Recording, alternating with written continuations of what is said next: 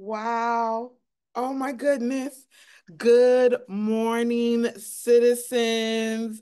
Welcome back to school. I am so excited to see your faces, to say hello, to give some high fives. I hope you had a great summer. We are so ready for you.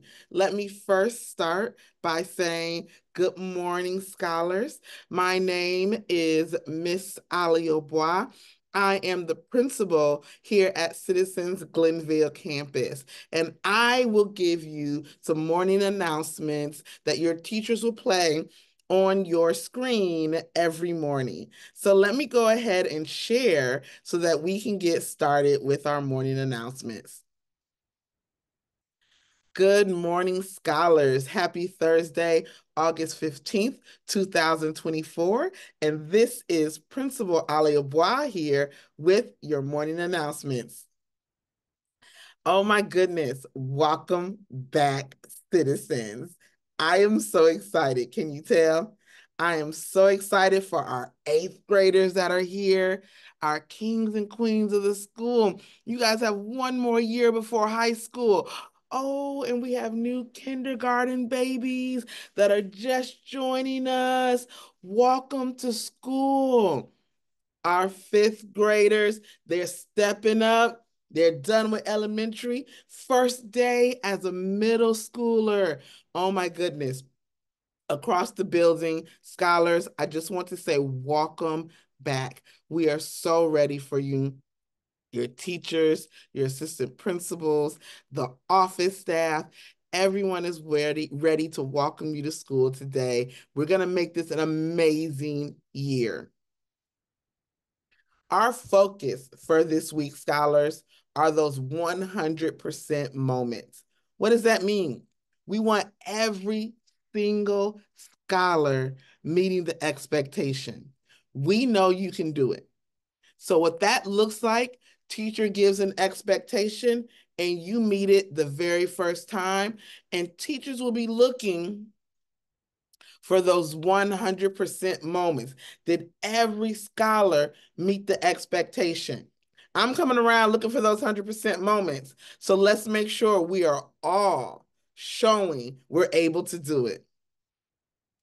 If you are new to the Citizens Glenville campus, we have something called the Tiger, the Pledge of the Tiger. This is something we say every morning during the morning announcements that helps us be centered on the expectations that we have for our school and for ourselves. They're rooted in our virtues and habits of leadership. So we say this together.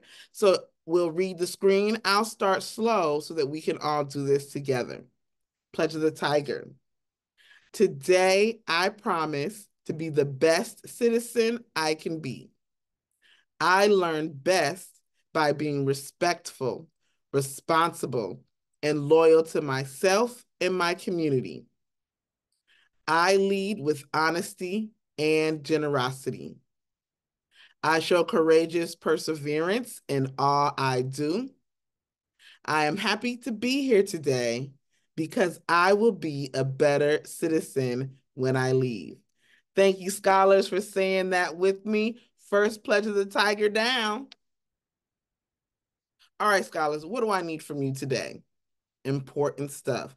First, follow the CGC way. And if you don't know what the CGC way is, your teachers will be teaching it to you. I'm expecting scholars in grades K through eight, first floor to the third floor, to show the CGC way.